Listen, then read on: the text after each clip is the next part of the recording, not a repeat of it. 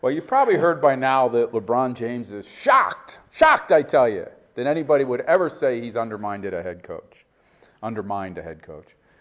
Said LeBron, What do you want me to do? Turn my brain off because I have a huge basketball IQ? James is a savant for sure. I feel the need to say, don't get any ideas, Jimmy Haslam. I'm talking basketball savant. Uh, I don't think we, there's a reason to add him to the Berea mix right now. Look, nobody is suggesting LeBron turn off his brain.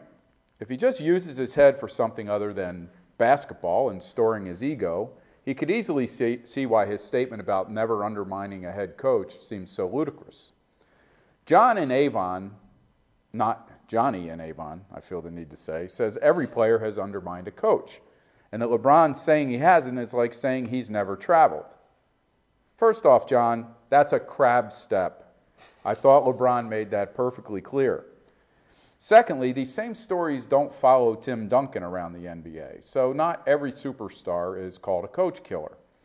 LeBron has changed plays, ignored coaches in timeouts, sulked on the court. It happened with Mike Brown. It's happened with David Blatt. Last spring in Chicago, he overruled Blatt's inbound play, hit the game winner, and then crowed about how he scratched the original play call. Is that undermining? Is that disrespecting? I'd say so, but not according to LeBron. Our next commenter says clearly LeBron doesn't know the meaning of the word.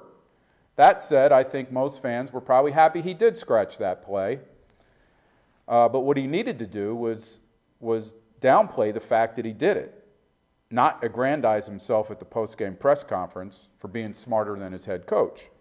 Our next commenter says LeBron is full of himself, just like most Catholic school grads.